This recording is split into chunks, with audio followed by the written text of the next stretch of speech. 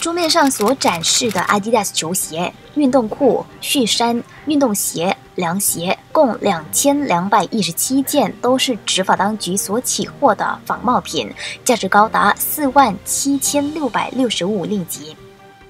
巴西古当三家营业超过十年的运动用品店，因为售卖仿冒品，昨天遭到执法当局检举。国内贸销部柔佛州执法组副主任利兹法兹利亚纳说，官员将约谈有关业者，了解货源情况，并且援引二零一一年商品事务法令条文调查。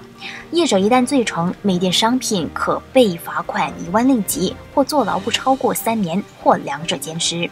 从今年一月开始到今天，新山已经有九十一宗仿冒品检举案件，价值累计高达二十九万两千四百二十三令吉。